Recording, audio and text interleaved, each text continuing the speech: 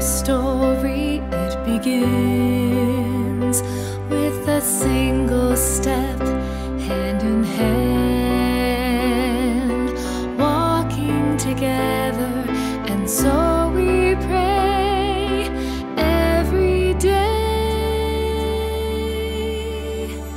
We are all children of God, big and small.